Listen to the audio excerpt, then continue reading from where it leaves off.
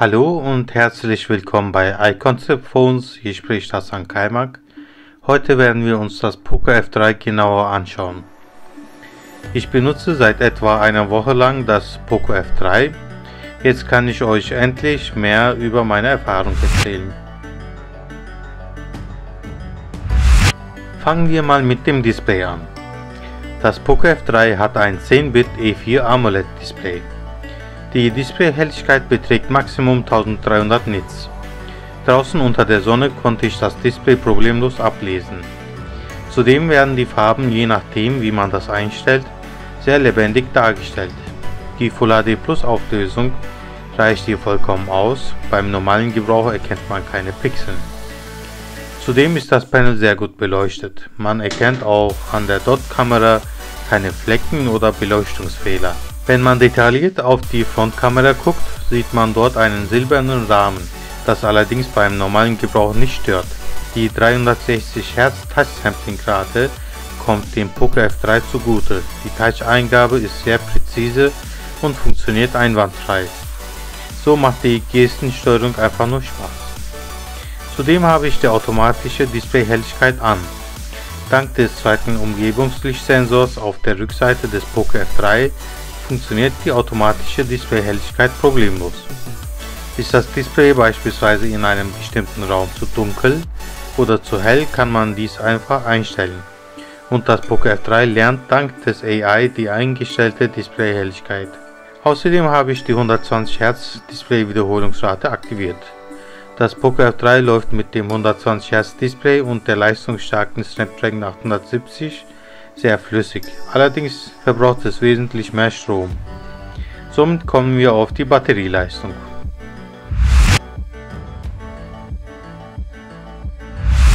Ich habe jeden Abend das Poco F3 aufgeladen. Das Aufladen selbst geht ruckzuck, da man mit 33 Watt auflädt.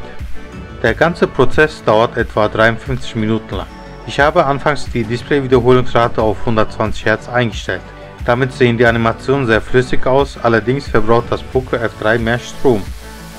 Ich bin mit einer Aufladung auf eine Screen-On-Time von 3 Stunden gekommen. Aktiviert man jedoch die 60 Hz Wiederholungsrate, so kommt man auf 6 bis 7 Stunden Screen-On-Time. Leider gibt es unter den Einstellungen nicht die Möglichkeit, die Display-Wiederholungsrate adaptiv einzustellen.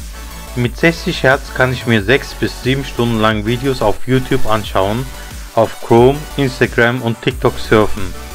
Ein Toggle zum Wechseln der Bildwiederholungsrate wäre sehr praktisch gewesen.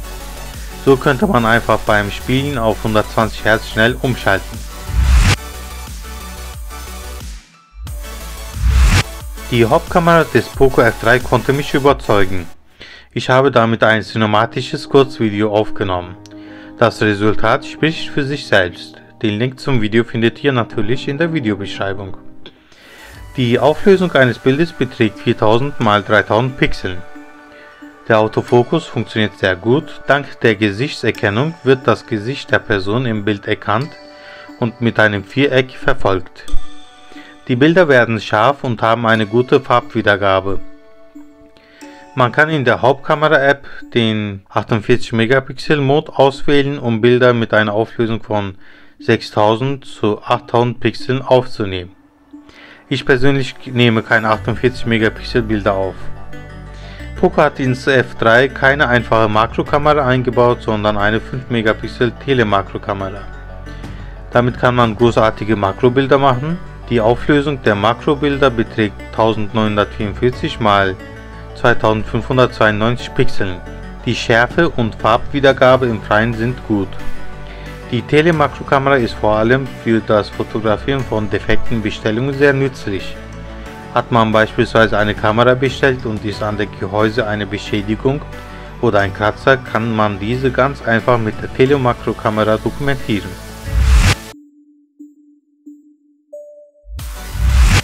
Ich bezahle fast ausschließlich mit meinem Poco F3. Dazu habe ich mir die Google Pay App eingerichtet und meine N26 Kreditkarte hinzugefügt. Ich muss nur an der Kasse NFC einschalten und mein Poco F3 mit dem Fingerabdruckleser entsperren und es an den Terminal halten. Schon ist der Einkauf einfach und schnell bezahlt. Ich bezahle ohne Probleme in Aldi, Lidl, Rewe, Rossmann und Action. Falls ihr Probleme mit der mobilen Bezahlung habt, geht einfach in den Einstellungen und dann zu NFC und wählt HCE Wallet. Auf dem PUC F3 funktioniert Wi-Fi 6 problemlos. Ich verwende einen Redmi AX3 Wi-Fi 6 Router. Die Verbindung ist sehr stabil und schnell. Auch mit dem Bluetooth 5.1 hatte ich bisher keine Probleme. Die Dateien werden schnell gesendet und empfangen. Zudem hatte ich bisher keine Verbindungsabbrüche mit meinen Bluetooth-Kopfhörern. So kommen wir mal zur SIM-Empfang. Ich wohne in einem Hochhaus und hatte beim PUC F2 Pro jedes Mal das Problem, dass ich keinen Empfang hatte. Es klingelte einfach nicht. Eine halbe Stunde oder gar eine Stunde später hatte ich dann endlich eine Anrufbenachrichtigung bekommen. Ich dachte anfangs, dass meine SIM-Karte defekt sei. Trotz einer neuen SIM-Karte hatte ich keinen bis sehr schlechten Empfang. Mit dem Poco F3 habe ich zum Glück dieses Problem nicht mehr. Ich bin wieder rund um die Uhr zu Hause erreichbar. Die 5G-Performance kann ich zurzeit noch nicht beurteilen, da Aldi Talk zurzeit keine 5G-Pakete anbietet. Sonst ist die Anrufqualität sehr gut. Man kann auch Wi-Fi-Anrufe oder VoIP-Anrufe in den Einstellungen aktivieren.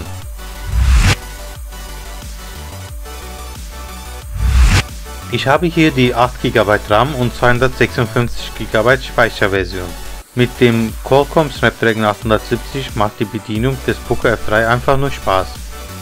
Die Apps werden schnell geöffnet, das Wechseln zwischen mehreren Apps funktioniert tadellos die starke Performance macht sich auch beim Gaming bemerkbar. Ich habe COD Mobile gespielt, es hat kein einziges Mal geruckelt oder gehangen. Natürlich habe ich es in 120 Hz gespielt. Das Poker F3 wurde gering warm, allerdings ist dies im Rahmen und hat mich beim Spielen überhaupt nicht gestört. Einige Zuschauer haben mich gefragt, ob es Performance-Unterschiede zwischen der 6 GB und 8 GB RAM-Version gibt. Beide Modelle verfügen über einen LPDDR5 RAM, das heißt, Sie können gleich schnell auf den RAM zugreifen. Hier sollte keine Geschwindigkeitseinbuße geben. Klar, wenn man beispielsweise die 6 GB RAM vollkriegt, kann man eine Performance Drop beobachten. Ich zweifle jedoch daran, dass man die 6 GB RAM vollkriegen kann. Ich habe den 8 GB Modell und davon wird nur 3 GB bei Normalnutzung verwendet also bleiben mir 5 GB Restram zur Verfügung.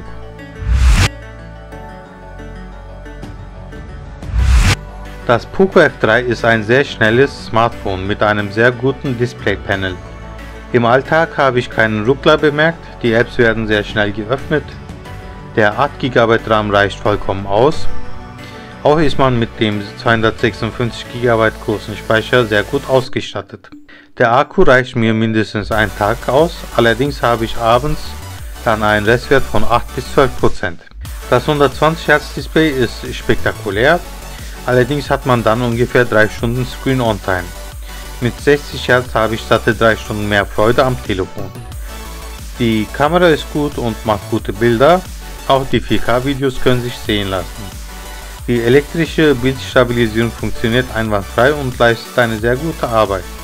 Man kann das Video mit beispielsweise DaVinci Resolve bearbeiten und zusätzlich das Video stabilisieren. Dann hat man ein sehr gut stabilisiertes Video. Die Verarbeitung des Poco F3 ist sehr gut. Es gibt keine scharfen Kanten. Die Übergänge sind sauber verarbeitet. Auch ist der in den Power-Button integrierte Fingerabdruckleser sehr zuverlässig und schnell.